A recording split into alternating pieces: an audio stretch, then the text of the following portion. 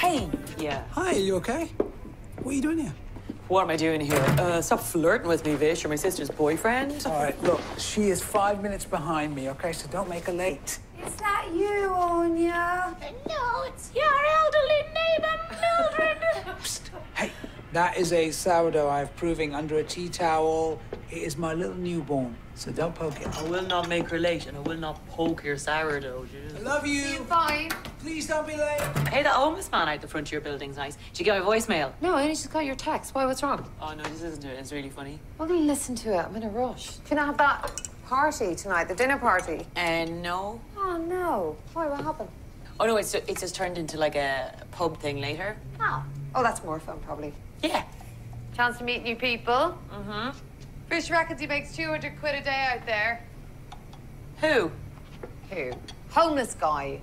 Don't eat that fruit salad. It's Vish's breakfast. God, Fish is driving me nuts right now. Just keeps alluding to moving in, you know, but in a sneaky way. Like he makes his sourdough here, but he says the Butterford's in his house, you know? Oh, that's so sneaky. Imagine loving you so much that he'd want you to live in his mahoosive house rent free. And anyway, you know, if I move in, then what next? Either break up or get married. God, I wish you guys would get married so I can do my hilarious best man speech. Honestly, my opening gag is uh, mwah, mwah, mwah. What's your opening gag? Oh, I'm not going to tell you because I want the look on your face on the day to be real. Right, well, I've no interest in marriage, so you may as well tell me now. Shona, don't say that. If you don't get married, I can't get married because it's bad luck and unnatural for the younger sister to wed before the elder. Stop talking about it now, okay, because I'm getting stressed. I'm doing my back, I'm in a rush.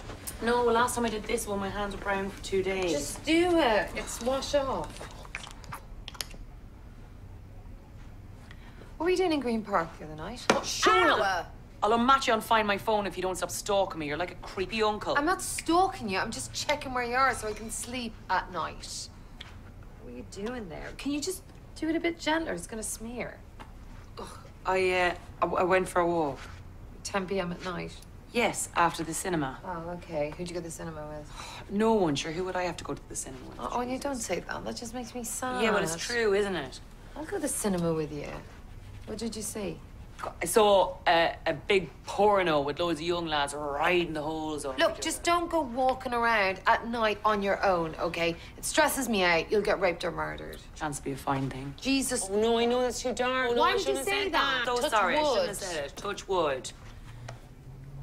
Oh, show. What? You've just got, you've just got like a little spot. Can I pop it? No, you cannot pop Well, it. I, I know I don't want to, but what if someone sees your back tonight and vomits? Oh, Jesus. Okay, then. Oh, fucking God, sorry. Oh, hell. Oh, that's disgusting. Don't wipe it on my Oh. bedding. What? I wipe it on your back then. Okay, you can go. Okay. Oh, thank you, Matthew. Don't make me laugh. I'll sweat.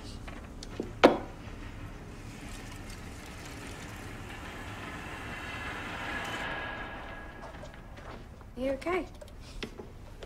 Oh my God, what are you wearing? What? Where'd you get that?